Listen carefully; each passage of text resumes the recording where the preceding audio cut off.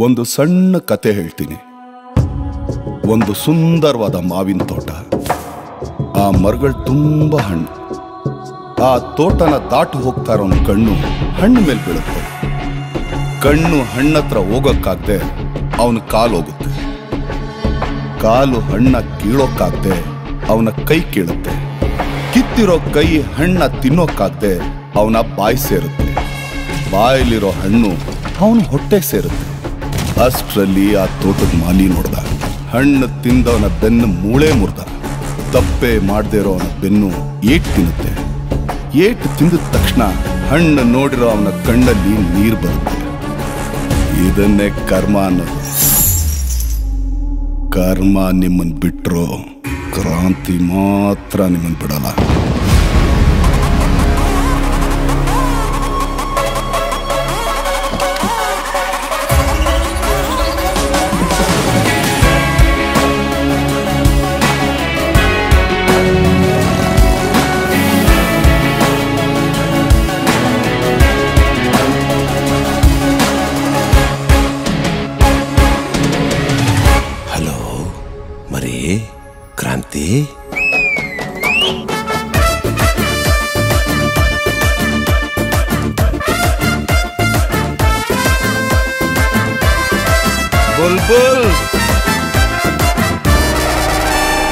ಸುಳ್ಳು ಸೂಟ್ ಹಾಕೊಂಡು ಓಡಾಡ್ತಾ ಇದ್ರೆ ಸತ್ಯ, ತುಂಡು ಬಟ್ಟೆ ಇಲ್ದೆ, ಬಚ್ಚಲ್ ಮನೇಲಿದೆ ಆ ಒಬ್ಬ ಯಾವಾಗ ಬರ್ತಾನೆ.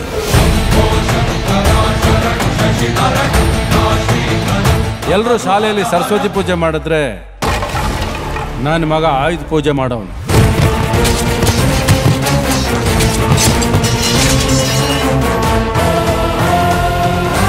ಲಂಗೋಟಿ ಹತ್ರ ಮರ್ಯಾದೆ ಬಗ್ಗೆ ಭಾಷಣ ಮಾಡಬಾರದು ಕಸಾಯಿ ಹತ್ರ ಲೆಕ್ಕದ ಬಗ್ಗೆ ಚರ್ಚೆ ಮಾಡಬಾರದು. ರಾಜಕೀಯ ನಿನಗೆ ಗೊತ್ತಿಲ್ಲ. ಆಕಾಶದಲ್ಲಿರೋ ನಕ್ಷತ್ರ ಸಮುದ್ರದಲ್ಲಿರೋ ಮೀನು ನನ್ ಜೊತೆ ಇರೋ ಜನ. ಯಾವತ್ತೂ ಬದಲಾಗಲ್ಲ.